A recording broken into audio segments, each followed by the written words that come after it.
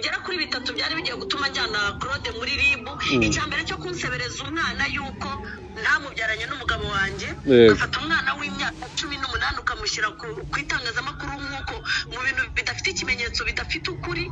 Icya kabiri kunyandikira umugabo ubusa kuri kamera ngo nibona umugabo wanjye yambaye ubusa ngo mbone claude. Muri make ni nkaho yaba arimo asengera ngo mana na eliane niyinjire mu buhehesi n'ubusambanyi. Kuko niba ntangiye kubona umugabo wanjye nkamubonamo undi mugabo bivuze ngo ntangiye kwifuza abandi bagabo wanjye mbese kumu ese byarabivuze? Rwose niyo nagire liyani ntacyo mpfa nawe nta sambu tugabana nta deni ngufitiye nta deni umfitiye ibyawe na pasita mutesi ni byo byatumye ninjiramo. Twabaye nka Rayon siporo na aperi none uyu munsi rero iyo kipe nafanaga ikipe ya Rayon siporo na aperi nagira ngo tuzireke twifanire kirisito yesu tuve mu magambo y'abantu twigumire mu ijambo ryacu mushiki wanjye. Icyo kintu uvuze kivuze neza cyane n'ejo nawe kivuze mu kiganiro nakoze ngo abafana. Nshima imana ko nasanze nta bafana ngira ahubwo ngira abakunzi kuko umukunzi niyo wakosheje araguhana wakora neza akagushimira. Ubwo wiyemeje kureka icyo kintu cy'ubufana rwose imana iguha umugisha kandi nk'uko n'ejo na byo kamera ngewe imbabazi naraziguhaye. Iyo umuntu asabye imbabazi arazihabwa eliane ndi umukristo kandi nubaha ijambo ry'imana. Ijambo ry'imana ngo nujya gutanga ituru nujya gutanga igitambo ukagera imbere y'igitaniro ukibuka mwene so mufitanye ikibazo?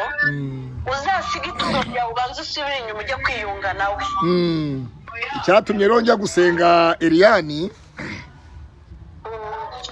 cyatumye njya akanyarira buriya ukabona nagiye guterura amabuye nkajya mu mazi no mu mavumo bwose. Hari abantu bo muri shosho mediya ba- bantangiye amakuru ku mugore witwa koremani w'ikigarasha uba muri amerika christine koremani urabizi neza umuntu avuze ngo uri demayi ngo uri maneko w'igihugu ngo uri biki? Utarabaye rokorodi fesi ngo ube na daso abantu bakavuga bangufungisha abantu. N'ibiki byose urumva ntabwo bya ari ibintu binejeje eliyani rero mu byatumye njyayo naravuze nti imana abantu banyikoreye bose bamvuga nabi bose basebya batanyemera barwanya amavuta yanjye. Mana mbazanye muri aya mazi. Mana amagambo bavuze yose nyasize muri aya mazi. Mushiki wanjye rero ariko eliyani ninkora ubukwe uri mushiki wanjye uzankenyerera uzatega indege uve mu bubiri uze unahira ubukwe. Rwose mushiki wanjye n'imbere y'imana n'umutima wanjye wose nkwezeho niba abantu babonye pata claude yikoreye amabuye ngo ngo arimo arajugunya eliane mu mazi. Ejo hari umuntu wazongera kumubwira ngo pasita ngo nsengera. Yavuga ati nidushwana nanjye yari amenye azajya kunjugunya mu mazi. Aramubwira ati munjugunyire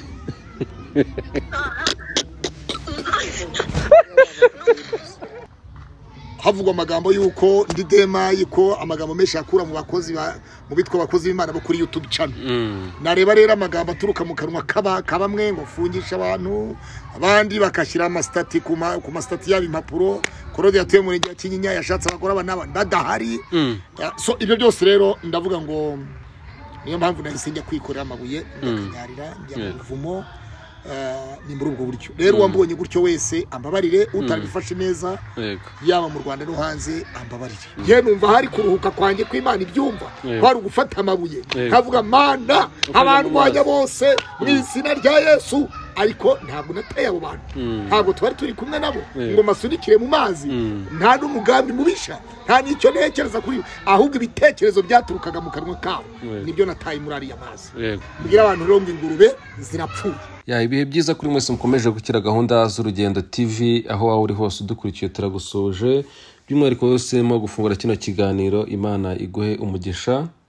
Kuri uyu munsi murabona ko kuri kamera z'urugendo tv turi kumwe n'abakozi b'imana babiri aho turi kumwe na eliane niyo nagira ndetse na pasita claude imana ifite piyese murabizi mu minsi yashize ni bwo hagaragaye saga aho pasita claude ndetse na eliane bamwe bagendaga bavuga ngo ese ubundi koko bapfa iki? Ni iki? Bapfa bombi ari abakozi b'imana kandi bagakwiye gutahiriza umugozi umwe. Niyo mpamvu twahisemo kugira ngo tubaganirize bombi bari kumwe. Ese koko hari icyo bapfa?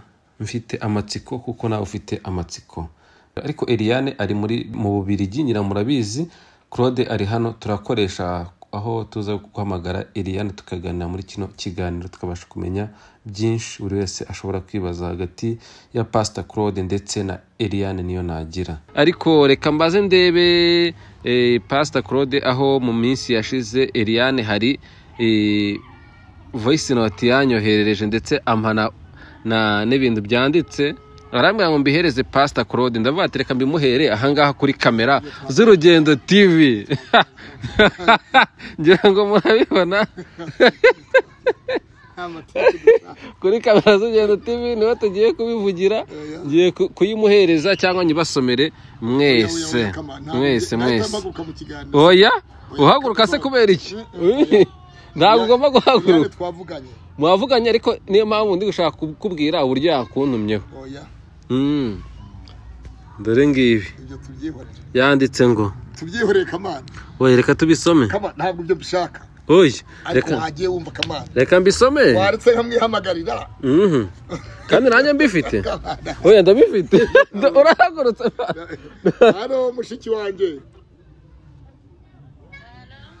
yesu ashimwe cyane. Bwana yesu asifiwe dada yangu habari ya baba watoto na watoto? Wote wazima. Mungu ni mwema. Sasa sasa hivi niko kwenye kikao na mtangazaji wa, wa rugendo tv okay. Uh, kamana aje kunsaba ikiganiro hanyuma arambwira ngo mwari mwanavuganye ndamubwira rero nanjye twavuganye. Mushiki wanjye rwose n'umutima wanjye wose n'ibitekerezo byanjye byose Eliane niyo nagira. Ejo umuntu yarampamagara arambwira ati ariko uguzi ko Eliane ushobora gusanga ari mushiki wawe ukaba utabizi. Muterana amagambo na Eliane kuri shusho media. Atari byiza. Rero icyatumye icyatumye rero njya gusenga Eliane icyatumye njya akanyarira buriya ukabona nagiye guterura amabuye nkajya mu mazi no mu mavumo bwose. Hari abantu bo muri shosho mediya ba- bantangiye amakuru ku mugore witwa koremani w'ikigarasha uba muri amerika christine koremani. Eh, bari bahamagariyemo hanyuma. Urabizi neza umuntu avuze ngo uri demayi ngo uri maneko w'igihugu ngo uri biki? Utarabaye rokuro defense ngo ube na daso abantu bakavuga bangufungisha abantu n'ibiki byose urumva ntabwo bya ari ibintu binejeje Eliane. Rero mu byatumye njyayo naravuze nti imana abantu banyikoreye bose bamvuga nabi bose bansebya batanyemera barwanya amavuta yanjye. Mana mbazanye muri aya mazi. Mana amagambo bavuze yose nyasize muri aya mazi. Mushiki wanjye rero mbere y'uko abo turi bo ndavuga nkunda kuvuga ngo turi abanyarwanda mbere y'ibindi byose turi abanyarwanda. Mbere y'uko uba umuzayoni nkaba umuburesingi mirako nkaba cyangwa umudive cyangwa umuki ariko turi abanyarwanda tupfa icyo dupfana kiruta icyo dupfa.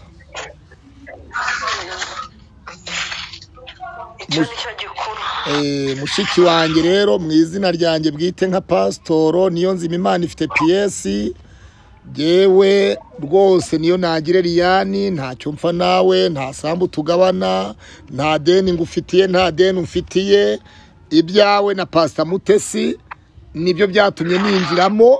Twabaye nka Rayon siporo na aperi none uyu munsi rero iyo kipe nafanaga ikipe ya Rayon siporo na aperi nagira ngo tuzireke twifanire kirisito yesu tuve mu magambo y'abantu twigumire mu ijambo ryacu mushiki wanjye.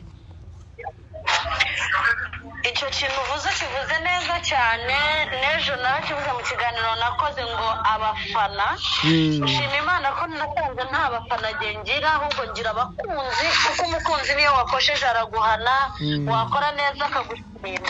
Ubwo wiyemeje kureka icyo kintu cy'ubufana rwose imana iguha umugisha kandi nk'uko n'ejo nabwo kamera ngewe imbabazi naraziguhaye. Yo ntabwo nacyumvise. Ejo naragikoze barambaza ngo claude ya- yakujyanye imana ndahabwa ngiye claude kuko yasabye imbabazi narazimuhaye naramubabariye. Kuko ariko nk'abakozi b'imana dukwiriye kureka ubufana.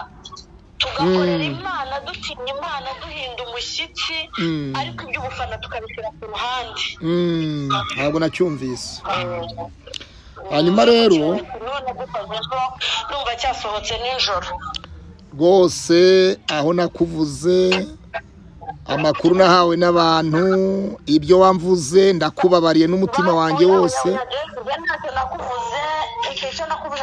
Nakomanse kuri mesaje wari wanditse uvuga ko umwana wanjye atari umugabo wanjye ndakubwira ngo uwabikubwiye bazakwerekana atesitasiyo de naissance z'umwana ntazo yazana. bakwereke bagukorere dna baz- bazerekane Mm. baguhe ibimenyetso mbese bifatika. Ariko Mm. icyo si cyo kitugaruye hano Mm, iyo umuntu asabye imbabazi arazihabwa eliane ndi umukristo kandi nubaha ijambo ry'imana. Ijambo ry'imana rivuga ngo nujya gutanga ituro nujya gutanga igitambo. Ukagera imbere y'igitaniro ukibuka mwene so mufitanye ikibazo. Mm, uzasiga ituro ryawe ubanza usubire inyuma ujye kwiyunga nawe. Mm. ubwo umwuka wa rero yakuyoboye njye rwose nta rubanza tugifitanye. Oya jyewe na byatewe n'ikiganiro nabonye uwitwa koremani yakoze wo mu- uba urwanya leta y'u rwanda uba muri opozisiyo mu binyamakuru bye. Noneho ndavuga rero ariyani abandwanya bose ariyani ariko noneho nguye ku kiganiro wakoze. Kivuga ko hari ibikoresho byaguhaye sheke ya miliyoni zingahe? Ukayanga. Ndavuga rero buriya abarwanya ariyani nibo barwanya korode ndavuga ndi imbere y'imana. Nanjye nari nagikoze ku rugendo tv ariko ariyani ninkora ubukwe uri mushiki wanjye uzankenyerera uzatega indege uve mu bubiri uze untahire ubukwe. Rwose mushiki wanjye n'imbere y'imana n'umutima wanjye wose nkwezeho. Imana iguha umugisha kandi imbabazi usabye urazihawe. Nanjye rwose nzi neza yuko nzi neza yuko umwanzi umwanzi w'igihugu aba ari umwanzi w'imana umwanzi w'imana aba ari umwanzi w'abakristo. Mm. kamana yari yampaye odi yarambwira ngo wamubwiye ngo ayimuhereze ubu turi mu kiganiro rega ku rugendo nabikubwiye harya? Turi kumwe nanjye ndakurikiye. bivuze mu giswahili wenda hari abatari babyumvise. Eh, hari- ntabwo nayimuhaye uyu munsi kamana nayimuhaye kera. Kamana ntajya yita ku bintu menya n'umugore batazamwitaho narongora nayimuhaye kera nayimuhaye ukimara kuvuga ngo ngo menye ngo umwana wanjye ngo si uw'umugabo ikindi ngo umugabo wanjye ngo nawe bari muri dushe n'ibiki byose ngo yambaye ubusa ni bwo nahise ndakara nkora iyo audio nyiha akamana ngo ayikumpere kuko nta nimero yawe nagiraga kuri urabizi ko ari ubwa mbere mvuganye nawe Mm. Ubwa mbere muvuganye? Nagiraga, Hano mu Rwanda ari hanze. Nta wundi rero nagutaho naciye kuri kamana kuko ikiganiro wari wagikoreye kwa kamana. Mm. ndangije ndanamusomera kamana ndamubwira ngo ko iwanjye uhazi. Kuki utabwiye claude aho ntuye? Bakajya kumubeshya akavuga agatanga aderesi itari iyiwanjye kamana rero nawe kamana ubundi ntabwo yabaga mu nkuru zishyushya ariko nawe ndabona ba vitari bagiye kuzamwanduza oya nawe arabizi ko nari gikomeye reka nkubwire claude. Karame. nakunze uwitwa isakari yabivuze neza isakari nijoro ngo yari yaramburotse kubera kumusomera Mm. joel yobokamana muramusomera Mm. ntuze perezida zaburisha iyo akoze inkuru zisebya cyangwa zangiza umurimo w'imana cyangwa zirimo ubutubuzi no kubeshya ndamusomera Mm. umuntu wese uba gosipo umuntu wese witwa umukristo umuntu ntashobora gusomera. N'uwo nzi ko adakijijwe vitari se uramusomera aba afite ubutware bwe bwose bwo gukora icyo ashaka. Mm. ariko umuntu uvuga ngo ndasenga ndakijijwe. Mm. ukwiriye kuba urumuri rw'abandi Mm. njyewe iyo akoze ikintu kitajyanye n'icyo ijambo ry'imana rimbwira ndamusomera. Baza akamana inshuro musomera iyo yakoze ibiganiro bitwika. Rwose pe kamana ni inshuti yawe. Murambasora rero buriya iriyani amakuru ufite kamana ni inshuti yawe mutesi ni inshuti ya kamana. Ibyabaye byarabaye twita ukwezi kwa mbere tubirekere ukwezi kwa mbere dutangire ukwezi kwa kabiri twibereye mu mwuka wera turi mu ijambo mu biterane mu mwuka turi mu buhanuzi. Ni ukuri mushiki wanjye imana iguha umugisha n'umutware wawe abana bawe bose umugisha w'imana ubane namwe mu izina rya yesu. Amen. Amen amen. Muraho neza? Ngaho neza kama iriya vayisi inoti yaragize ubwoba bwo kuyifungura. Ati noneho ndamubwira iki? Ni ukuri nayifunguye mu kanya.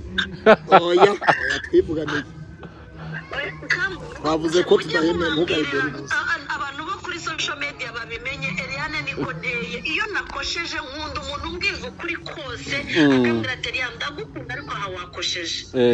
Iyo ubimbwiye udapfukana ariko iyo utukanaho ntabwo ibyo wambwiraga byose biba bibaye zeru Mm. nanjye rero sinjya mbasha kwihanganira kubona umuntu wakosheje ngo nicane nceceke ngo atanyanga oya. Mm. nasigarana inshuti imwe nasigarana inshuti ebyiri ariko nzima. Mm. tuzagerana yego. Rwose pe nanjye ndabashimira. Mm. Oya, Kamana we nagera nawe adafashe ibyaha yego oya ngenda bizi kuko iyo umuntu babibabwira ba bikemu babibabwira bikemu yakoze ikosa ndamusomera nkamwibutsa ngo wowe mwene kaniziyusi joel iyo mukamana yakora ikosa ngo ubu pasiteri kaniziyusi agarutse. Mm. florandutiye bariya aba gosipo bose? Mm. ukoze ikosa njye mubwira nk'umukristo simubwira nka rubanda. Yego. Rwose pasita claude abyumve ko nta kintu mpfa nawe. Iyo namwatatse yakoze ikosa runaka ajye yumva ko mwatatse nka mushiki we. Mm. yandikira mushiki kandi wanjye. ayo ikiganiro apana kumva komantere z'abandi bamubwira. Kandi nta nubwo ari nawe gusa nanjye nkojeje urankebura n'undi wese uramukebura. Kandi nanjye ninkosa mujye munkebura kuko nanjye sindi marayika. Mm. Abantu baba bari kuvuga ngo Mm. nanjye irifoke umbizi ukuri uti aha wakosheje wagize gutya na gutya na gutya si uko wari kubitwara. Yego. Abantu baba bari gutekereza ngo korode ugiye kumujyana kumurega muri ribu narabitekereje. Mm. narabitekereje kandi nawe narabikubwiye. Nshaka hasigaye yuko turudepoza gusa muri ribu mpita mbona ikiganiro sinzi niba cyari cyabereye iwawe. Ni iwanjye. sinzi wahise anyoherereza link eh ubanza ari wowe. Mm. unyereka ko claude yasabye imbabazi. Mm.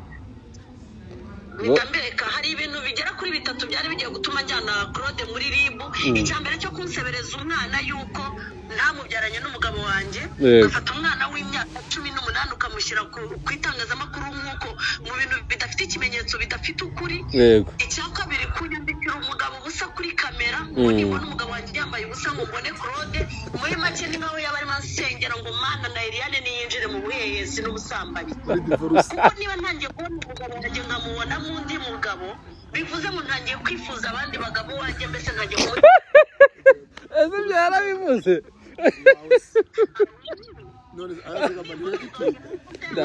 Ntabwo ari njye weditinga ni wa mukameramani wanjye.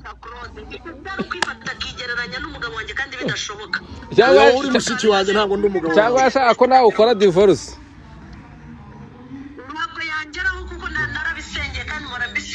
Nanjye ngiye gukomeza mbigusengere gashiki kanjye humura ntacyo uzaba. None kuba korode ubu ngubu aciye bu- bugufi agasaba imbabazi icya gatatu cyari cyambabaje nanone Mm. Icyo kuvuga ngo njyewe mufite ubudeni mu murimo amafaranga amafaranga ndwaje umwana we oya ntabwo ari ideni ngo yangurije amafaranga ndwaje umwana oya ntabwo ari ukuguriza Eliane narohereje sinagurije na cyo cyari cyambabaje Eh. ntabwo ari ideni ikindi cyo kuvuga ngo imana ntabwo ica mu gitanda cya papa na mama. Mm. Habe niyo twaba twashwanye pasita claude. Habe niyo njye nawe twaba twashwanye Mm. mama na papa ntibakwiriye kuza muri ibyo ubundi iki kiganiro tuba tugikoze uri live nawe mureba umugabo wanjye ntakwiriye kuza muri ibyo bintu Eh. si byo yego kamana ni inshuti yawe cyane na mutesi. Biriya abantu babiri nyine ba- bazi n'uburyo bayiziranyeho yego aho ngaho Mm. kuba korode aciye bugufi akagusaba imbabazi byakiriye gute no kuko yasabye imbabazi ejo ntacyo bundi. natanze Mm. nta n'icyo ndi butange nta n'icyo ngitanze kuko yasabye imbabazi kandi nzi ko iyo umuntu asabye imbabazi nawe nuko aba yamenya amakosa yakoze aramwaye satani nagira intebe yewe icyaha cyagaruka ku mutwe Mm.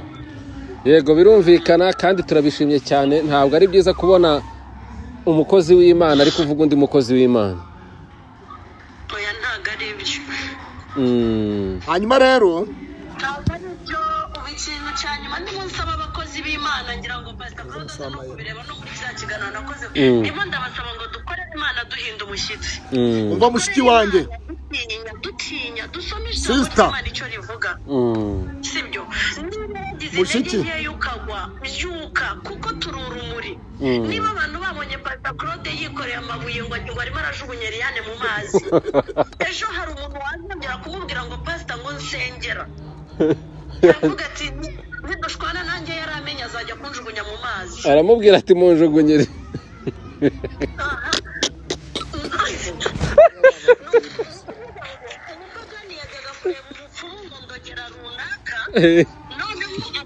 nabo tugiye kubigisha ngo zana nawe njye kukujugunyira umukristo mugenzi wawe runaka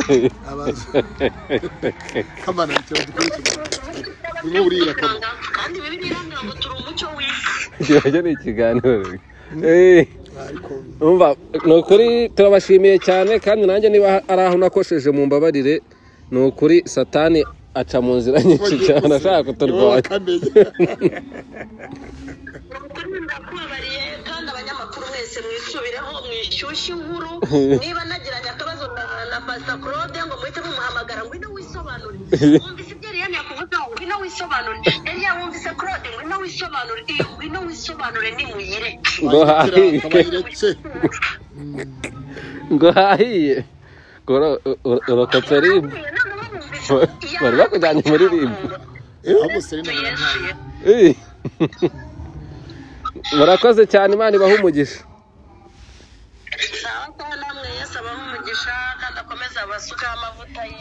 mushiki wanjye amen ka warudura imiti se sha wanyoherejeho ka kofi nkahita ajya kunywa ka kofi ahantu hano hirya kimironko. Utinyatse ko utinyatse ntari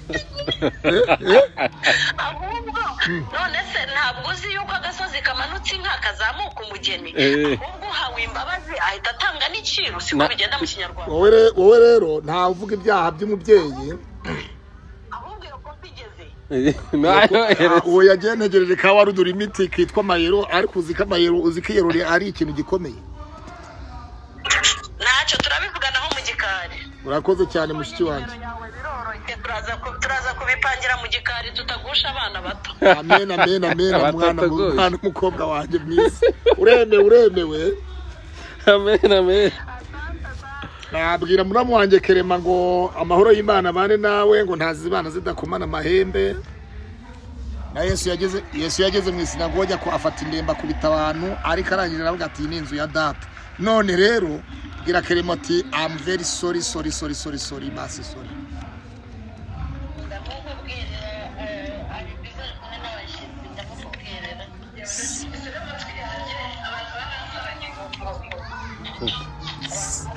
Sawa. Wabyumvise Ibi birangiye Eliane mwiyunze oya ni mushiki wanjye abaye mushiki wawe none oya n'ubundi asanzwe ari we? Ase buriya ntiwagize ubwoba si wumvishe ko Eliane agiye kugushyira muri ribu. Ugira ubwoba uragira yewe ibi ngibi nibyo mba mvuga korode sinjya avuga umuntu atamvuze sinshobora ku ariko buriya iyo urebye ikintu ukabona ko icyo kintu gishobora kugiraho umuntu impakiti impakiti iri negative. Eh, uragize. so urumva nk'ubu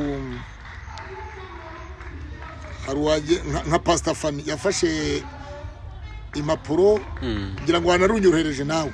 Urupapuro. Eh, ubwira ko Eliane yarugu- yaruguhaye ejo bundi Eliane Eh, biranyohereje. twarabivuze muri kiriya kiganiro nyine twakoze ejo bundi udahari. Um, avuga ngo natuye muri kinyinya nagize gutya. Ariko ngewe reka mvuge ngo buriya muri ariya mazi kamana urabizi wasanze mu buvumo. Nta muntu natwaye ngo ngiye kumujugunya ngo najugunya amagambo yaturukaga mu kanwa kabo. Mm. Uh, mbonye ikiganiro cy'uwitwa christina kuremani wi urwanya leta ukora ibiganiro birwanya igihugu. Mm. Havugwa amagambo y'uko ndi demayi ko amagambo menshi yakura mu bakozi ba- mu bitwa abakozi b'imana bo kuri youtube channel. Mm. nareba rero amagambo aturuka mu kanwa kaba kabamwe ngo fungisha abantu abandi bagashyira amasitati ku ma- ku masitati yabo impapuro. Korode yatuye mu murenge wa kinyinya yashatse abagore aba n'aba badahari. Mm. So ibyo byose rero ndavuga ngo niyo mpamvu nahise njya kwikorera amabuye ndakanyarira njya mu buvumo. Ni muri ubwo buryo. Rero uwambonye gutyo wese ambabarire utabifashe neza yaba mu rwanda no hanze ambabarire. Mm. Eh, ariko umuntu wese asenga uko abyumva no mu rusengero hari igihe tuvuga tuti cagagura ca-" ugasanga do umuntu amaboko ari muri siporo ari muri gutya nta kintu arimwo aratema nta kintu arimwo aragira gutya urimo urasenga ucagagura imyuka mibi ucagagura ucagagura. So urumva wabonye kanyara ko abantu baba barunze amabuye ngo iyi ni inzu yanjye. Na- n'amababi bakavuga ngo ni amafaranga. N'amababi ngo aya ni amafaranga nihanuriye amafaranga ibiki byose atari amafaranga. Ariko ni mu mwuka wo kwizera Mm. Ah, rero abitegereje kiriya kiganiro imana ishimwe kandi nawe twanagikoranye Mm. Eh, tubabwire ngo bahumure duhumurije umutima wabo. Korode ni wa wundi ni umukozi w'imana Mm. korode yanga agasuzuguro yanga umukora mu jisho Mm. icyo ni cyo nanga ko ndi umuntu nanjye Yego. mbere yuko nitwa pasiteri ariko bamenye ko ndi umuntu Mm. ndi umuntu uva amaraso Yego. ndi umuntu ubabara Wacumura. umuntu unezerwa ndi umuntu wacumura ariko nkagira n'aho ngarukira rero mm, buri muntu wese musabye imbabazi seriyani gusa Mm. Ah, uwamvuze nabi Mm. uwamvuze nabi wese nk'ejo ezekeri Mm. Yarampamagaye ari ku musozi ngo arimo arasenga. Mm. mpita nanabwiriza rwose mu kiganiro cyiwe kuri telefone arambwira ngo ari kuri kamera. Mm. ndavuga rwose ni ukuri kw'imana nta kibazo ufitanye nawe ezekeri Mm. Ah, rero umuntu wese yacumura yababara yatsitara ikibazo ni ukugwa ukunuka amavi kugwa ko ntawe udashobora kugwa. Ibyo rero ntabwo turi mu ijuru bibiri iravuga mu gitabo cya yobu ngo no mu bamarayika imana ibabonamo abanyabicumuro Mm. usibye ko bitwa bagaruka vuba. Ya petero yaravuze urwa mbere rwa petero ngo nimurakaranya izuba ntirikarenga mukirakaye. Mm. Ah, rero ntabwo turi abana ba kamere mu kuguma muri kamere ntabwo turi abo kuva muri kamere. Kugira ngo tubwirize ubutumwa bwiza bw'ubwami bw'imana abantu bakizwe dusengere abantu imyuka mibi baveho karande zigende ingumba zibyare abashaka bashake abakazi babone akazi Yego. ab'amadeni bishyurirwa amadeni Yego. icyo ni imana yaduhamagarije. Rero abantu bamenye ngo korode gufata inzira.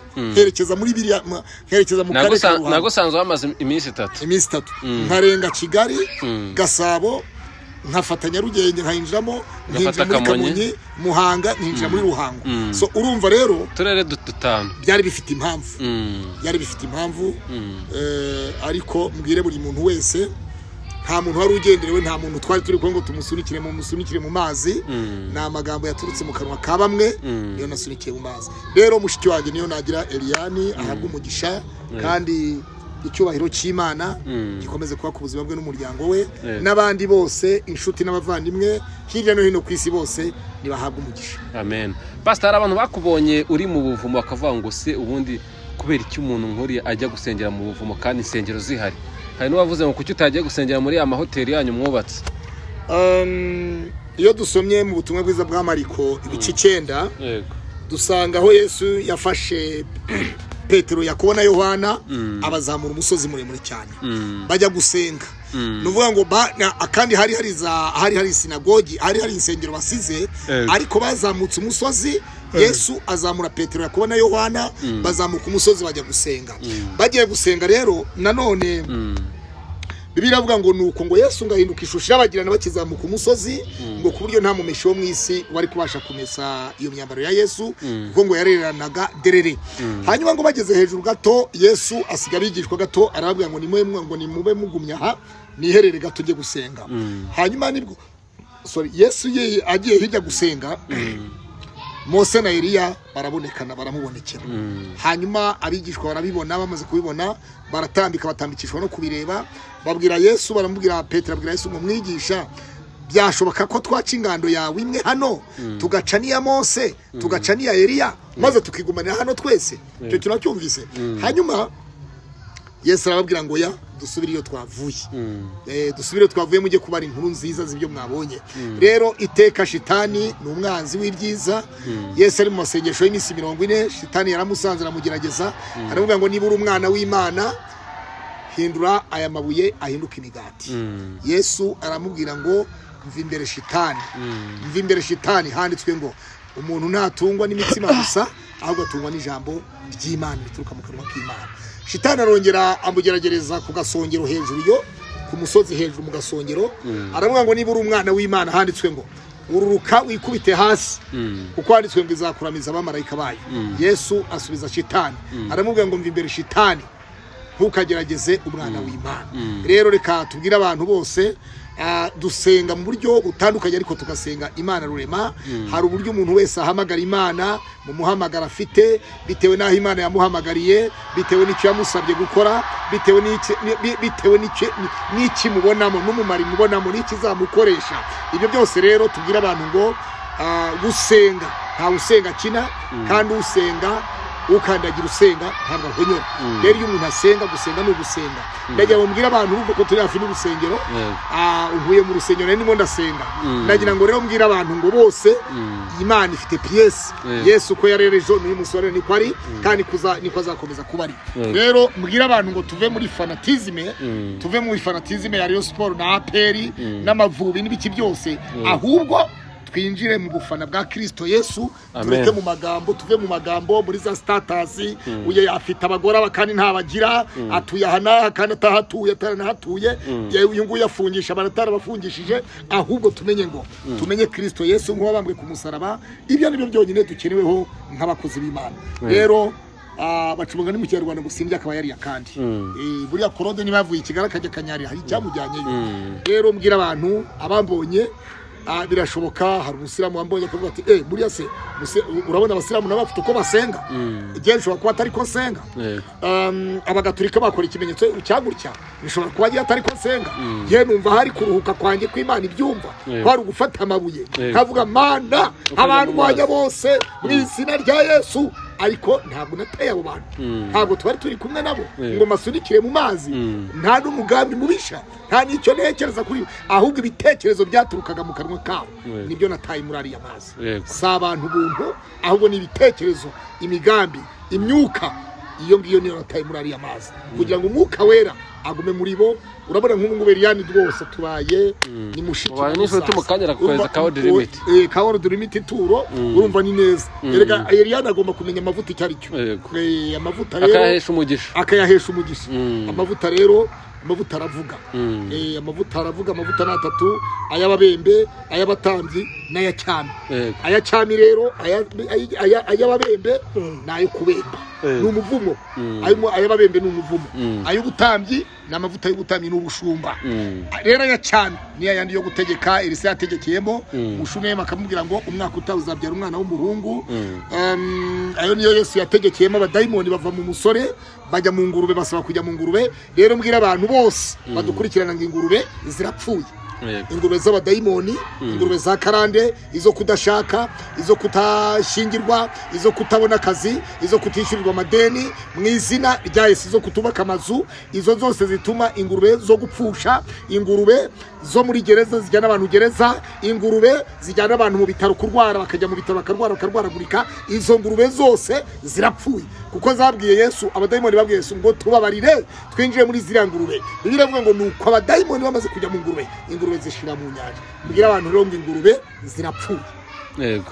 Ubundi wowe na Eliane kuba mwiyunze uri kubyumva gute? Ubyakiriye ute kuba guhaye imbabazi. Eliane ntabwo rwose ni bya bindi Eh, Eliane ni bya bindi bya shitani ni- urumva shitani ntabura harasira abantu Mm. ariko giye ku rwanjye ruhande Eliane ntacyo twapfaga nta n'icyo rwose habe na mba haba ha- habe habe habe habe habe rero urumva ah, mbwira abantu abakunzi ba Eliane abakunzi ba Claude Yeah. mwese Mm. yewe na Eliane turi umwe turi ni mushiki ndi musaza nta kibazo gihari Mm. rero ibyo ni byo mba nivugira ni na byo nanavuze ejo bundi uwitwa Serena avuze ngo abakene ntibazajya mu ijuru n'ibiki byose Mm. ngo abakene ni abashitani ibintu nk'ibyo. Mm. turavuga tuti ntabwo ari byo. Mm. ubamba isi ntakurura. Yeah. urumva?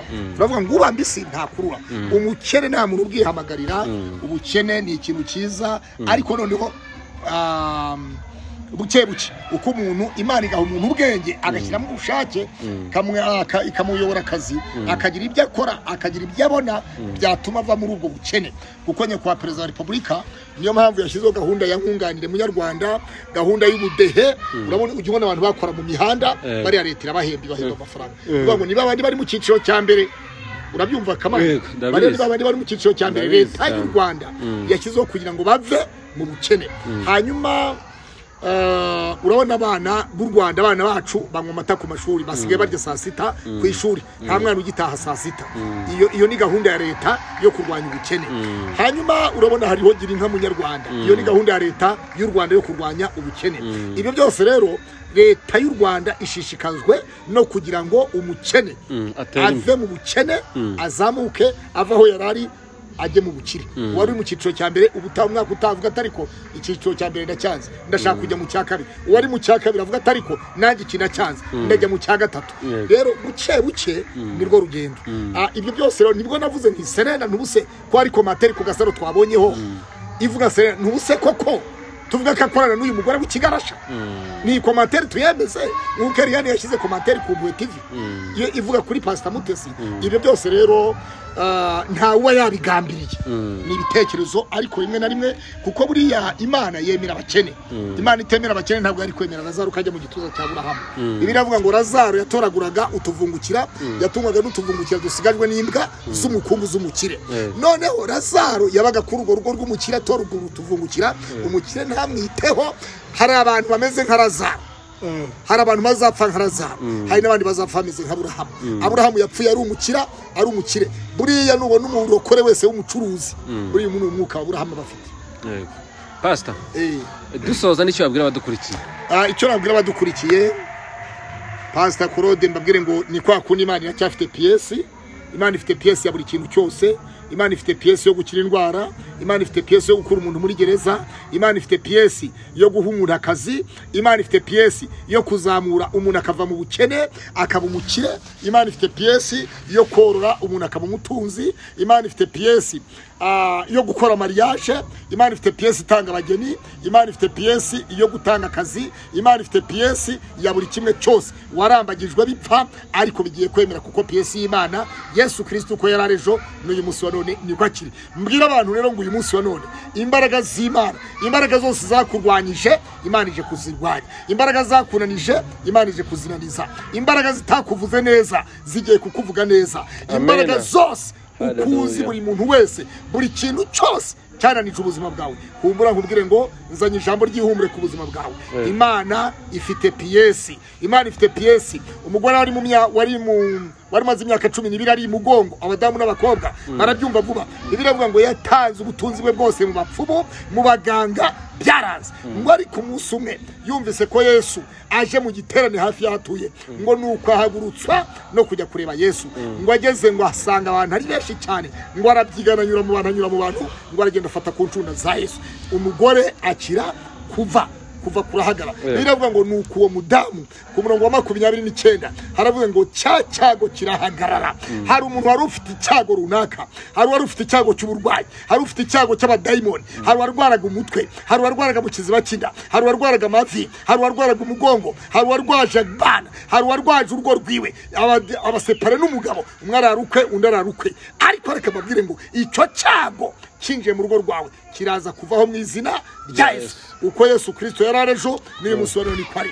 Yesu abohora razaro ahagara ku mva ya razaro aravuga ngo razaro zuka. Razaro arazuka. Nawe ibyawe byapfuye bigiye kuzuka. Birazuka mu izina rya yesu. Urugo rwapfuye fiyansaye yapfuye akazi kapfuye banki yarapfuye ubucuruzi bwarapfuye buri kintu cyose icyo ugerageje gukora cyose cyarapfuye. Tubwire abantu rero ngo imana ifite imana piyesi ifite piyesi. Imana iguhe piyesi imana ibohora ibyawe imana izura ibyawe mu izina rya yesu. Yeremiya mirongo itatu na kane na rimwe umurongo wa kane. Haravuze ngo nzongera kukubaka kandi ninkubaka uzaba wubakitse wa mwari w'i Siyoni we uzongera ugire amashako meza. Wa mwari wo mu rwanda we uzongera ugire amashako meza. Wa muyobozi w'u rwanda we uzagira amashako meza. Uzagira imiyoborere myiza uzayobora neza. Wa muturage w'i rwanda we wa muturage wo muri diaspora hatandukanye uzongera ugire amashako meza.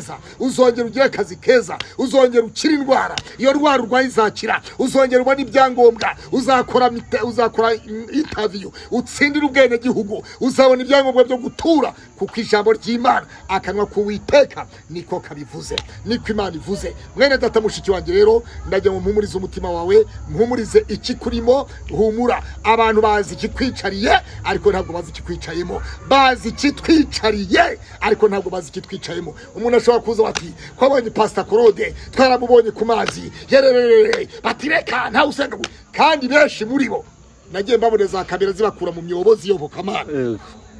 Wabyumvise neza nagiye mbona yoweri iyobokamana bamwe basanga mu myobo bagirimo ngo ntawe usenga gutya ntawe ugira gute? Reka da umuntu wese asenga uko abyumva kandi bimurimo. Rero mbwira abantu ngo imana ifite piyesi ni kwa kundi. Hariya rero karara gatonya nga mu nyanja babonye ko gusenga. Ngiye gusenga amasengesho yayandi yo mu rwego rwa sipesho murakoze cyane. Imana iguha umugisha. Telefone zanjye ni zeru karindwi iminani ibiri mirongo itanu na rimwe cumi na gatanu mirongo cyenda na karindwi. Buri muntu wese rero wabonye ko kavidewo yumve ko ni ugusenga. Nta gahunda ntabwo ari abantu twajugunyemo twajugunyemo imyuka yo mu kirere irwanya abantu inyura mu kanwa k'abantu hanyuma barangiza bagatangaza ibihuha bitari bikwiriye. Imana ibampera umugisha kandi imana ibahe piyesi imana igukize aho uri hose imana ikora ibitangaza. Hanyuma kamana iki kiganiro uhita ugishyiraho wibuke ko ejo ari bwo bampu ejo ni itariki zingahe? Ni kuwa mbere aza- aza- bazamusomera Eh, ni kuwa mbere. Eh, ejo ni ku uribuka ko cyumweru navuze ko atazagimagiranye Mm. urabyibuka neza?